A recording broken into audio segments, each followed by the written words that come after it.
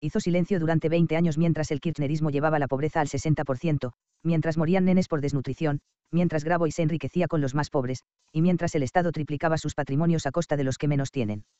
Acá Florencia Peña, militante K.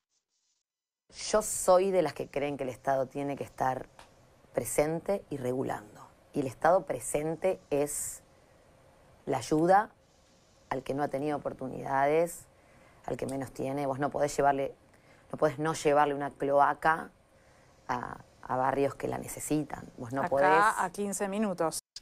Vos dijiste, hay gente que tiene las pelotas por el piso de vivir En el barro. barro, sí. ¿Y quién le va a hacer el pavimento? ¿El mercado?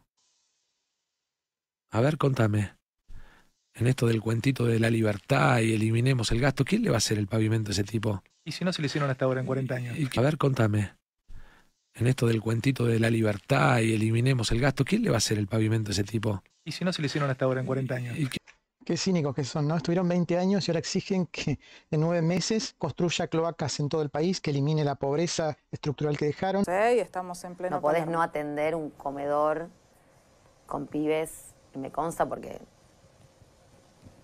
no importa lo que yo hago, puertas para adentro, pero yo estoy muy en contacto con, con- con mucha gente muy necesitada, dando mano, y, y- tengo muy clara cuál es la realidad, no vivo en una burbuja, y, y- y sé las carencias que hay. El Estado tiene que estar presente. Bueno, le tocaron la billetera Link y reaparecieron todos, así que evidentemente vamos por buen camino, vamos mi ley.